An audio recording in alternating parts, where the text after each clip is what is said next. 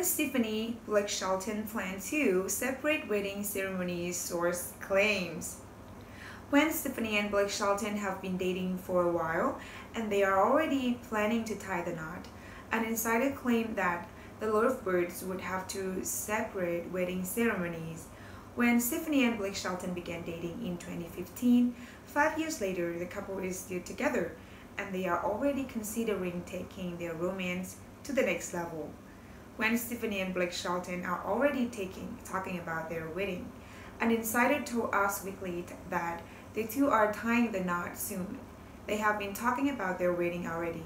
They are keen to make it happen as soon as possible, the source said. Shelton and Stefani are reportedly aiming a summer wedding. However, the insider added that they wouldn't mind moving things back to the fall.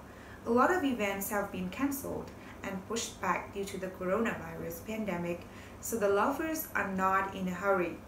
The couple will have two wedding ceremonies.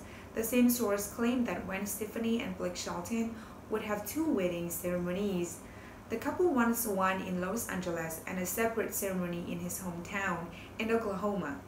Oklahoma gives the couple more privacy and the possibilities are endless for a wedding reception people will talk about for years, the insider said.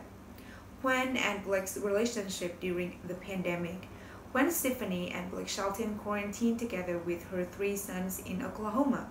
In an appearance on The Tonight Show starring Jimmy Fallon, Shelton shared how he quarantined with his girlfriend and her children. We learned how to make bread real good, sourdough bread, Shelton said. Literally, it's like Little House on the Prairie here. She makes bread. I've been building the fence and gardening. We're pretty self-sufficient out here. Stefani and Shelton rumored. Blake Shelton and Gwen Stefani are were among the A-list Hollywood couples who face constant rumors about their relationship. One tabloid claimed that the Hollaback girl is working on gaining weight to conceive Shelton's baby. Stefani allegedly read somewhere that heavier women have an easier time giving birth.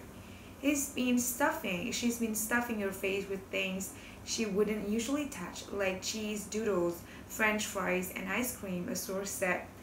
But for the most part, it's all about scarfing down stuff that will expand her waistline. Meanwhile, in 2017, OK claimed that Stefani and Shelton were expecting twins. However, it was not true. Three years later, Shelton and Stefani are still together and without a baby.